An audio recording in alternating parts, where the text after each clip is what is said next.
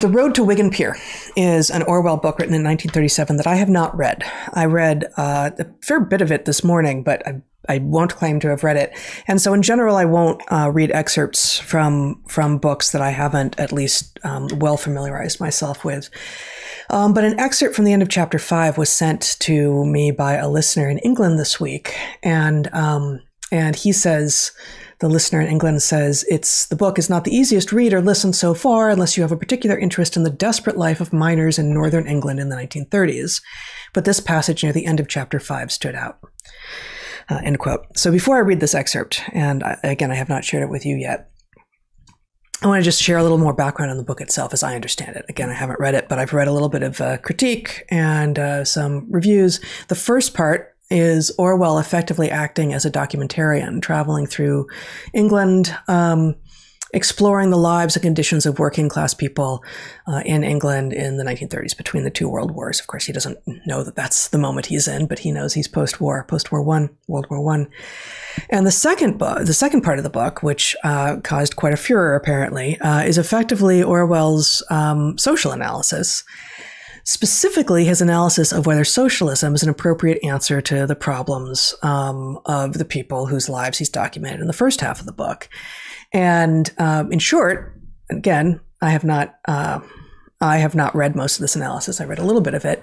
Um, his answer is he thinks it is.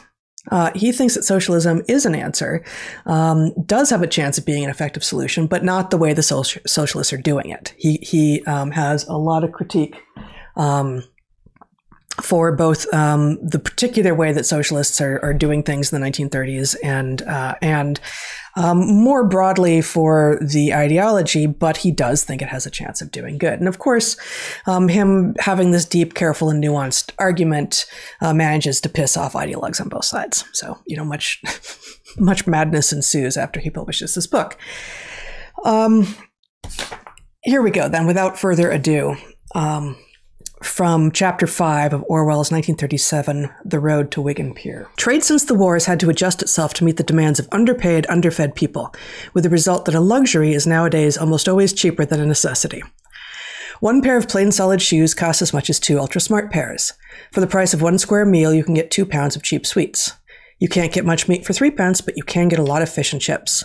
Milk costs three pence a pint, and even mild beer costs four pence, but aspirins are seven a penny, and you can wring 40 cups of tea out of a quarter pound pot, uh, packet. And above all, there is gambling, the cheapest of all luxuries. Even people on the verge of starvation can buy a few days' hope, something to live for, as they call it, by having a penny on a sweepstake. Organized gambling has now risen almost to the status of a major industry. Consider, for instance, a phenomenon like the football pools, with a turnover of about six million pounds a year, almost all of it from the pockets of working class people. I happened to be in Yorkshire when Hitler reoccupied the Rhineland. Hitler, Locarno, fascism, and the threat of war aroused hardly a flicker of interest locally, but the decision of the Football Association to stop publishing their fixtures in advance, this was an attempt to quell the football pools, flung all Yorkshire into, into a storm of, of fury. And then there was the queer spectacle of modern electrical science showering miracles upon people with empty bellies. You may shiver all night for lack of bedclothes, but in the morning you can go to the public library and read the news that has been telegraphed for your benefit from San Francisco and Singapore. 20 million people are underfed, but literally everyone in England has access to a radio. What we have lost in food, we have gained in electricity. Whole sections of the working class who have been plundered of all they really need are being compensated in part by cheap luxuries which mitigate the surface of life. Do you consider all this desirable? I don't. But it may be that the psychological adjustment which the working class are visibly making is the best they could make in the circumstances. They have neither turned revolutionary nor lost their self respect. Merely they have kept their tempers and settled down to make the best of things on a fish and chip standard. The alternative would be God knows what continued agonies of despair, or it might be attempted insurrections which, in a strongly governed country like England, could only lead to futile massacres and a regime of savage repression. Of course, the post war development of cheap luxuries has been a very fortunate thing for our rulers. It is quite likely that fish and chips, art silk stockings, tinned salmon, cut price chocolate, five two ounce bars for sixpence, the movies, the radio, strong tea, and the football pools have between them averted revolution. Therefore, we are sometimes told that the whole thing is an astute maneuver by the governing class, a sort of bread and circuses business to hold the unemployed down. What I have seen of our governing class does not convince me that they have that much intelligence. The thing has happened, but by an unconscious process. The quite natural interaction between the manufacturer's need for a market and the need of half starved, starved people for cheap palliatives. the, so, three things before you start riffing. Um, this sentence in particular. Whole sections of the working class who have been plundered of all they really need are being compensated in part by cheap luxuries which mitigate the surface of life that feels like today. And that feels like not just COVID times, right? But that feels like um, something we have been seeing and talking about since since we've known each other, since you know, since high school, uh, since the eighties. Um, I was uh, I, I, just I delved a little bit into the fish and chips part of this story, and apparently fish and chips were incredibly cheap, incredibly cheap, and there were an abundance of fish and chips stores in the 1930s, um, and it started to become more and more expensive. So that doesn't sound quite right to our modern ears. In the 70s, apparently, it started to get more expensive, um, but uh, but it was very much a, a, a, cheap thing that was available to everyone. And then I also um, I, I looked, I, I was thinking about a conversation we had at the end of 2021 about the price of lumber. We were told by a contractor uh, that dimensional lumber, like two by fours, was about to, what did he say, double? He didn't maybe have a prediction triple, like that it had been it had been going up and down during the pandemic, but that it was about to really, really climb. You could show my screen, Zach. This is the Nasdaq's reporting on five on lumber prices for five years uh, since since I guess it would have been early 2018. Um, and you see it start to spike um, during the pandemic, and it spiked higher uh, in 2021, basically before all of the um, mandates were um, were lifted. And then, of course, we got them back, and you know, here we go. That's a match um, for what we were hearing from this contractor uh, just a couple months ago. And you know, do people need lumber? Yeah, people need lumber, um, but can people get apps on their iPhone for for dirt cheap? They can get those and they don't need those the way they need lumber. Yeah. And in fact, um, it's interesting that, you know, phones are almost the perfect example of yeah. what's obviously not essential for life since, frankly, we didn't have them until very recently. right. um, but, you know, there are a lot of folks who uh, don't have homes who have phones, right? Um, right. So anyway, it's it's pretty interesting.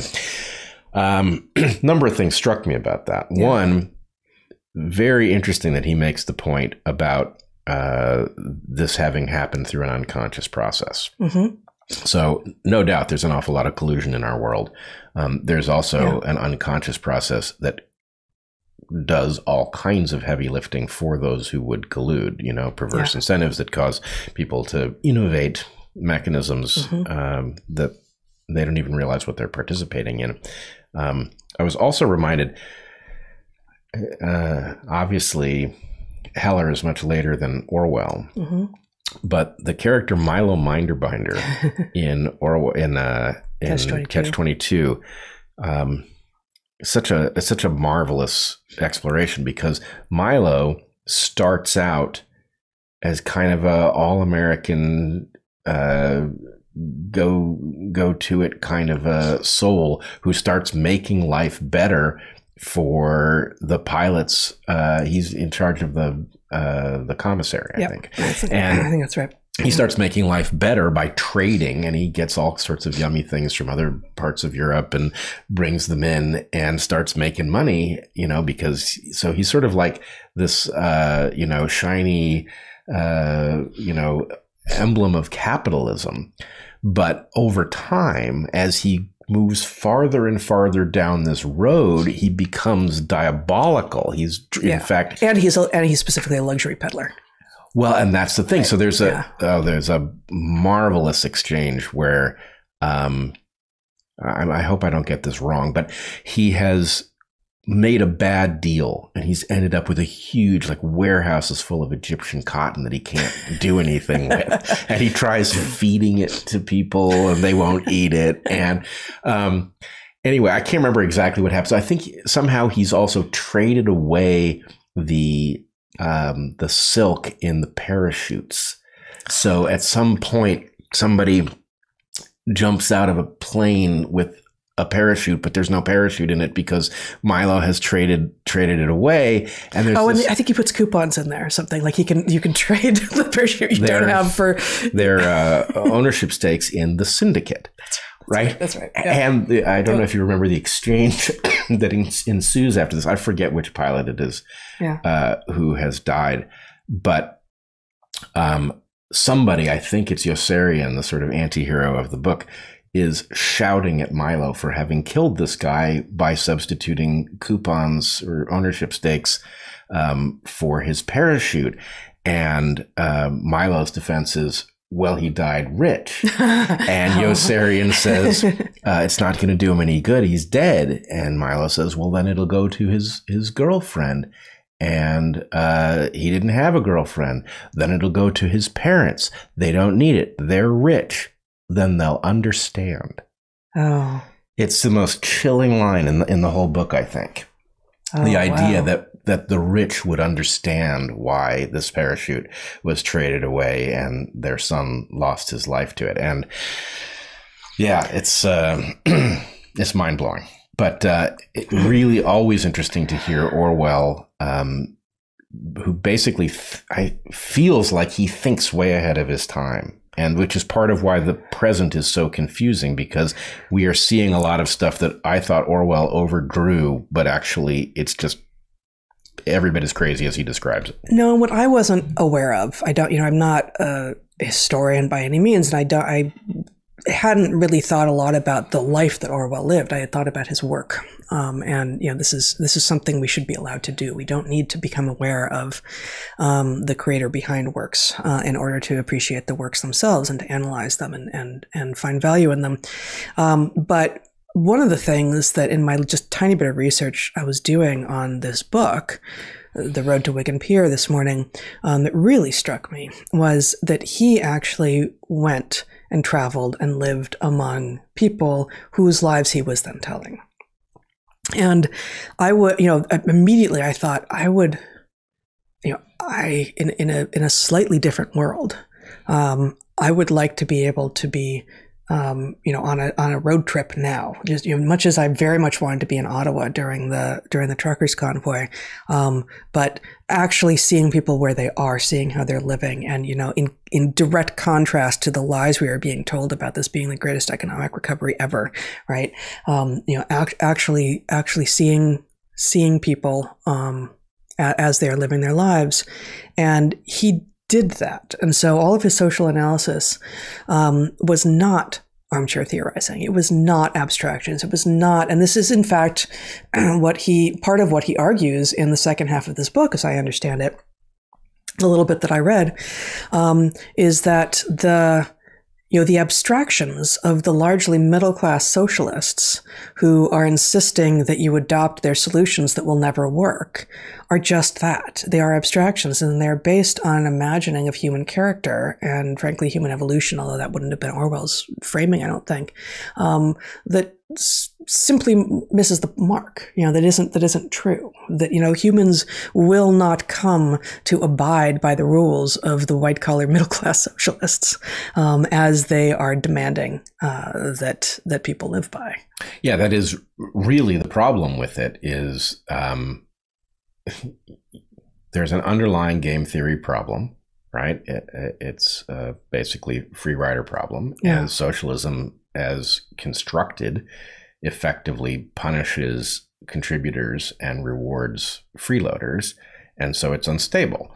Um, which doesn't mean, you know, the those who recognize some version of that uh, often overdraw the lesson of the problem with it. They don't understand that actually yeah. your body is socialist and a family can be socialist.